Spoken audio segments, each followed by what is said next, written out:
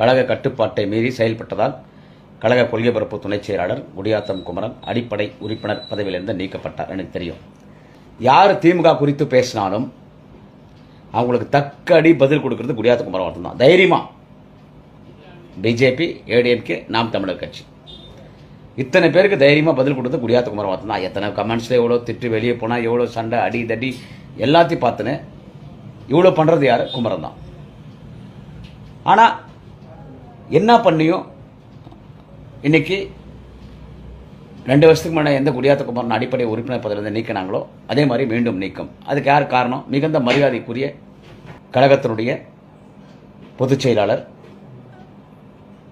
மாண்புமிகு அமைச்சர் பெருந்தகை அண்ணன் துரைமுருகன் அவர்கள். ஆமாம் எனக்கு அவருக்கு எந்த பிரச்சனை கிடையாதுங்க. எனக்கும் அவருக்கும் எந்த பிரச்சனை கிடையாது. நான் இப்பயும் சொல்கிறேன் பயந்துனெல்லாம் பேசலை.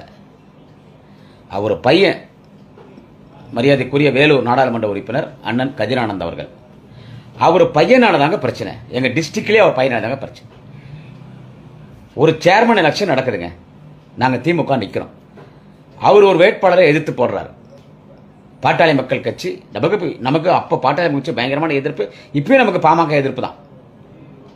ஒரு வேட்பாளர் அவர் போடுறார். ஒரு வேட்பாளர் அவர் போட்ட உடனே என்ன சொல்கிறது ஒரு வேட்பாளர் போடுறாரு. நம்ம கஷ்டப்பட்டு ஒரு ஓட்டில் ஜெயிக்கிறோம்.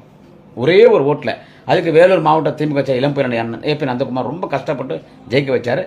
ஆனால் என்னை சத்யானந்தன் ஜெயிச்சார் திமுக. இன்றைக்கி திமுக நல்லாகுது. நம்ம கஷ்டப்பட்டு நமக்கு டஃப் கொடுத்தது யாருன்னு கேட்டிங்கன்னா பாட்டாளி மக்கள் கட்சி. ஒரு அஞ்சு கோடி ரூபாய் வேலை வருதுங்க அண்ணன் கதிரானந்த் அவர்களுக்கு. அந்த அஞ்சு கோடி ரூபாய் வேலைக்கு அண்ணன் கதிரானந்த் யார் கொடுக்குறாருன்னு கேட்டால் பாட்டாளி மக்கள் கட்சி கொடுக்குறாரு.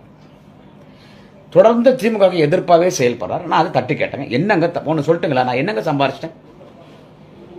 நான் என்ன சம்பாரிச்சிட்டேன் சொல்லுங்கள் நான் என்ன சம்பாரிச்சிட்டேன் சொல்லுங்கள் நான் என்ன சம்பாரிச்சிட்டேன்? கட்சியில் க- கட்சிக்காரெல்லாம் ஃபுல்லாக வெளியே ஒரு நூறு பேர் நிற்கிறாங்க இப்போ நான் என்ன சம்பாரிச்சிட்டேன் நீங்கள் சொல்லுங்கள் சொல்லுங்கள் நான் என்ன சம்பாரிச்சிட்டேன்?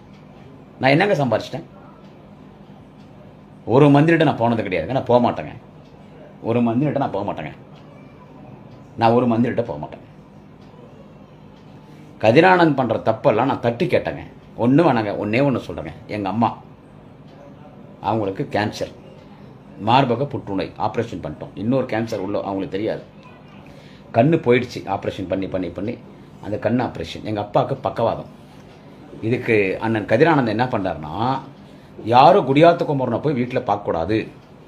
யாரும் குடியாத்துக்கு போனப்போ போய் வீட்டில் பார்க்கக்கூடாது யாரும் காசு பணம் கொடுக்கக்கூடாது. நான் யார்கிட்டங்க பணம் கேட்டேன்? ஒன்று சொல்லிட்டா பணம் சொல்லிடுறேன். அவங்க திட்டினா கூட பரவாயில்ல. கிட்டத்தட்ட பத்து லட்ச ரூபாய் எங்கள் அம்மாவுக்கு செலவாச்சு. பணம் கொடுத்தது யார் தெரியுமா? இந்த நிமிஷம் வரைக்கும். ஆனால் இனிமேல் நான் அவங்களுக்குலாம் ஃபோன் பண்ண மாட்டேன். ஏன்னா இப்போ நான் கட்சியில் இல்லை. தெரியும் நான் வருவேன். நான் எங்க போகிறேன் என் கட்சி இது.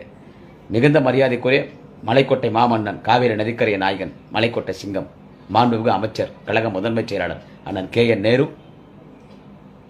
அருணை மாநகரத்தின் அருணையாளர் அருணையன் செல்வம் அண்ணன் தண்டராம்பட்டு ஏவா வேலு அவங்க ரெண்டு பேர் தாங்க கொடுத்தாங்க.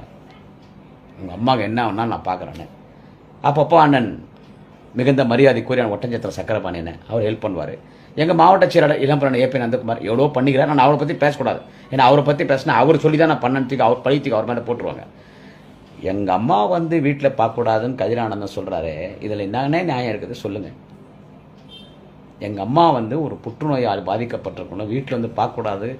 நிதி உதவி நிதி உதவி விட்டுரு அவங்க வீட்டில் கூட போய் பார்க்கக்கூடாதுன்னு அண்ணன் கதிரானந்தன் சொல்கிறாரு இதில் என்னங்க நியாயம் இருக்குது? நீங்களே சொல்லுங்கள் என்னை கச்சூர் நெகிட்ட நான் எங்கே போட்டோம்? நீங்கள் செருப்பால் அடித்தாலும் என் தலைவர் தளபதி நாளைய முதல்வர் எங்கள் அண்ணன் உதயநிதி ஸ்டாலின் விட்டு நான் போகவே மாட்டேன். நான் போக மாட்டேன். இது இப்போ மாண்புமிகு பள்ளி கல்வித்துறை அமைச்சர் அண்ணன் அன்பில் மகேஷ் பொய்யாமலி அவருக்கும் தெரியும். நான் போக மாட்டேன். எங்கள் அண்ணன் மாண்புமிகு அண்ணன் எங்கள் அண்ணன் கே நேருக்கு தெரியும். மாண்புமிகு அண்ணன் எங்கள் அண்ணன் தண்டராம்பட்டு ஏவா வேலுக்கு தெரியும். எங்களுடைய அண்ணன் வேலூர் மாவட்ட செயலம் ஏபி நந்தகுமார்